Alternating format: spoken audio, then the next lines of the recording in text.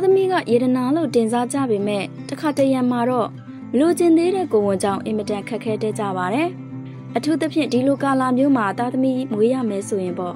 ပြီးတော့တချို့အခြေအနေတွေကြောင့်မလိုချင်တဲ့ကိုဝင်ရလာပြီဆိုရင်ဘာလို့ရမှန်းမသိဖြစ်သွားကြပါတယ်။အခုဆောင်းမကကိုဝင်ဖြတ်ချဖို့အားပေးတာမဟုတ်ဘဲဖြတ်ချဖို့လိုအပ်သူတွေအတွက်စနစ်ကျပြီးပညာရှင်တွေညွှန်ကြားထားတာကိုလိုက်နာနိုင်အောင်တင်ဆက်ပေးတာဖြစ်ပါတယ်။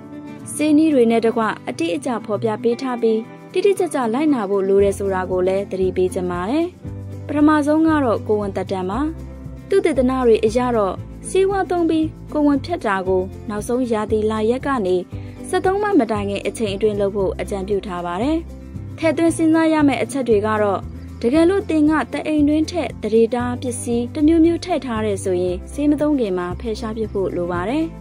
ပြီးတော့တင်မှာ HIV ယောဂပိုးရှိရင် ART ဆေးဝါးတွေတောက်ထားပြီးကျန်းမာရေးကောင်းနေသူတဦးဖြစ်မှသုံးသင့်ပါတယ်။တကယ်လို့တင်ဟာခလေးနိုးတိုက်နေတယ်ဆိုရင်တော့ဖြက်စည်းတွေကခလေးကိုဝမ်းလျှောစေလို့ခလေးကိုအရင်နိုးတိုက်ပြီးမှဆေးတောက်တာ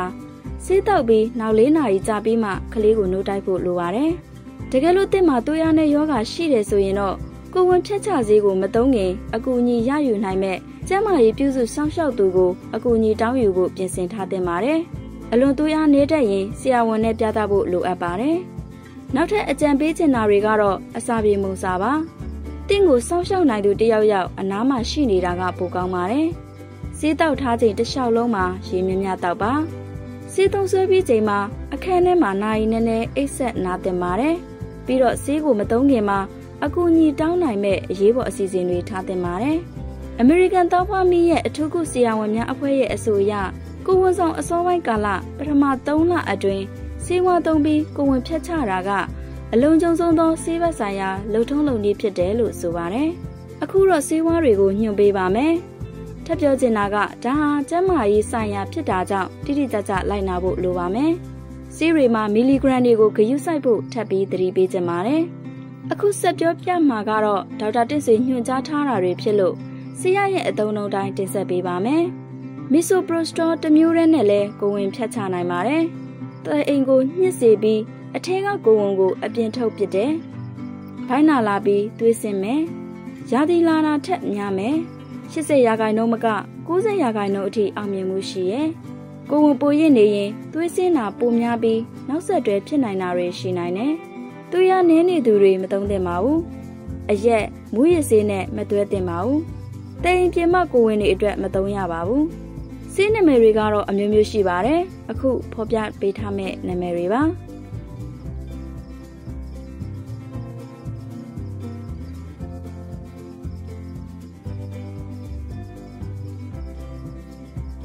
စနဘက်တီကိုဝန်ကိုမီဆိုပရိုစတောစိုက်တိုတက်တမျိုးရဲနဲ့ဖြတ်နည်းကတော့မီဆိုပရိုစတွန်200မီလီဂရမ်ပါတဲ့ဆေးပြား12ပြားလိုပါမယ်။ မီဆိုပရိုစတွန်800မီလီဂရမ်200မီလီဂရမ်၄ပြားကိုမွေးလန်းချောင်းကနေထည့်ပါ။နောက်ထပ်6နာရီကြာမှတစ်ကြိမ်နောက်ထပ်6နာရီကြာမှတစ်ကြိမ်စုစုပေါင်း3ငါထည့်ပါ။ဒါမှမဟုတ်မီဆိုပရိုစတွန်800မီလီဂရမ်ကိုမွေးလန်းချောင်းကနေ12နာရီတစ်ကြိမ်နှုန်းနဲ့စုစုပေါင်း3ကြိမ်ထည့်ပါ။ဒါမှမဟုတ်မီဆိုပရိုစတွန်800မီလီဂရမ်ကိုမွေးလန်းကျောင်းကနေ24နာရီတစ်ကြိမ်နှုန်းနဲ့စုစုပေါင်း3ကြိမ်ထည့်ပါဒါမှမဟုတ် မီဆိုပရိုစတော800မီလီဂရမ်ကိုရှာနဲ့ပစောင်းမှာ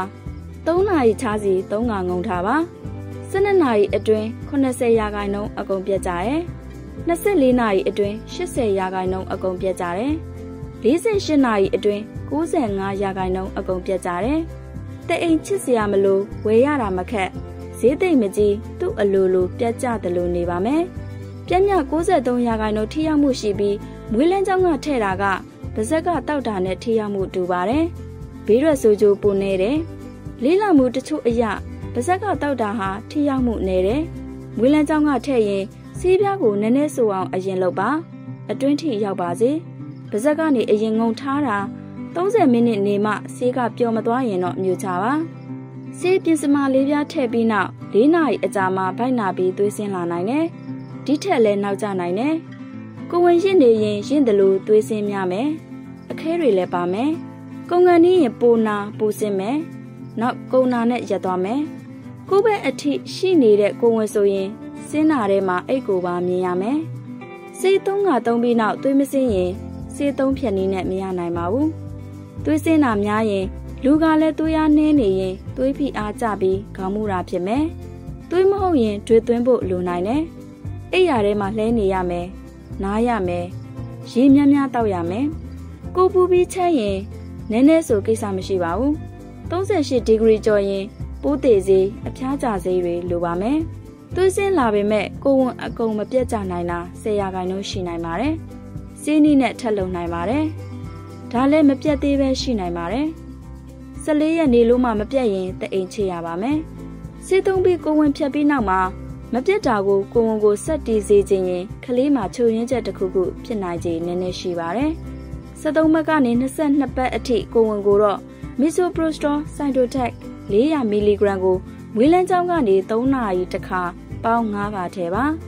23ဘက်ကျော်နေတဲ့ကိုဝန်ကိုတော့ Misoprostol Cytotec ဆေးတစ်မျိုးနဲ့ရနိုင်မရနိုင်မသိကြပါဘူး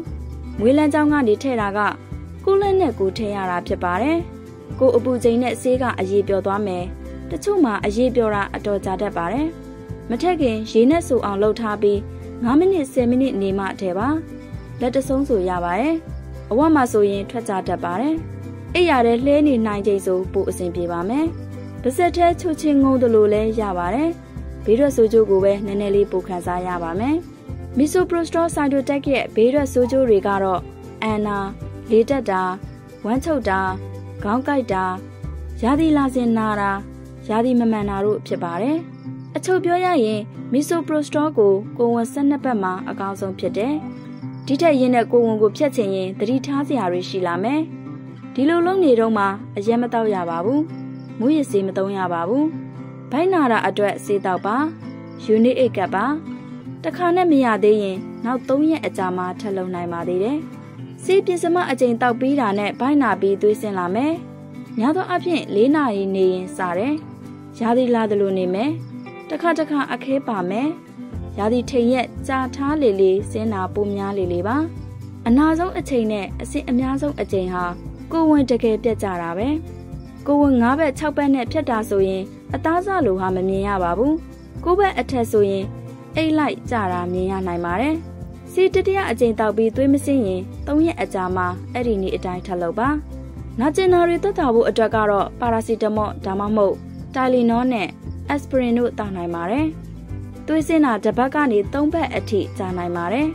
ပုံမှန်ရာသီက၄ဘက်ကနေ၆ဘက်နေရင်ပြန်လာမယ်သွေးစင်းယုံနဲ့ကိုဝင်မပြတ်တာလည်းရှိတတ်တယ်စစ်ဆေးရပါမယ်ပြက်ရင်လဲကိုဝင်စစ်စစ်လို့အနှုတ်ပြဖို့ကနှစ်ဘက်ကနေသုံးဘက်နေရပါသေးတယ် အထရာဆောင်းရိုက်တာကပိုပြီးသေးကြပါတယ်တကယ်လို့နည်းနည်းပဲတဲ့အိမ်ထဲမှာကြံနေရင်နောက်လာရာသီစင်းတာနဲ့အတူထွက်ကြလာပါမယ်နောက်မှဒီလိုထက်မဖြစ်အောင်ကာဝယ်မှုစနစ်လုပ်ရပါမယ်ကိုဝင်တားစီတာနီတင့်တော်တာရွေးရပါမယ်သွေးစင်ပြီးတာနဲ့တားစီစားစီကိုစားတော့ပါဒါမှမဟုတ် IUD ထည့်ထားပါဒီဆောင်မကိုဆရာဒေါက်တာတင့်ဆွေနဲ့ How to use abortion pay talk org တို့ကညွှန်ကြားထားတာတွေဖြစ်ပါတယ်အားလုံးကိုကျေးဇူးတင်ပါတယ်ရှင်